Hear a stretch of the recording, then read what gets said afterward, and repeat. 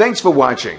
If you'd like to pick this product up or just learn more about it, just click on the button right now that just popped up on the video and you'll be all set.